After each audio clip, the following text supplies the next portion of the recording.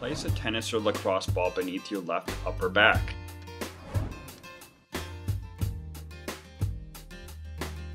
Roll up and down and back and forth, pausing at points of tension for 10 to 60 seconds. Dig into those spots where you have tightness. Repeat on the opposite side.